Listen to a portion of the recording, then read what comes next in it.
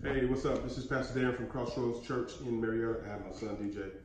Uh, we're starting a brand new teaching series tomorrow. The name of the series is called Marriage Material.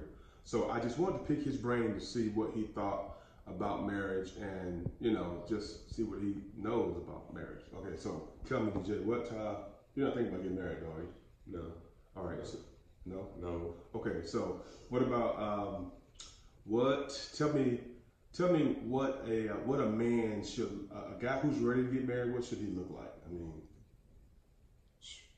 Uh, I mean, I think he should look like, I would say, a man who is kind of like David, you know, just like a man that's searching after God's heart okay, and um, Christian guy. Christian guy, and then well maintained, Okay, look nice. nice, Okay, uh-huh. you know, look like he's going somewhere in life. Got a job. Right. Okay, all right. So, so what do you think about um, what would a person do to get ready for marriage? What, what, what, what are you gonna do to get married, ready for marriage? I'm already ready. You ready right now? You ready now? Well, not now, now, Okay, okay.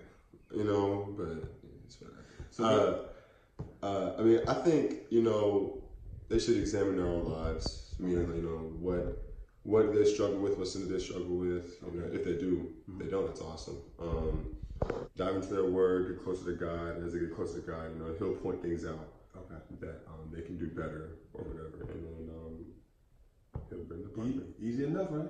E- easy I mean, it's not that easy. It's not that easy? Okay, but- all right. Well, listen, here's what the goal is. It's the goal is once we finish with this series in a couple weeks, three, four weeks, your answers will be better than his, I promise you.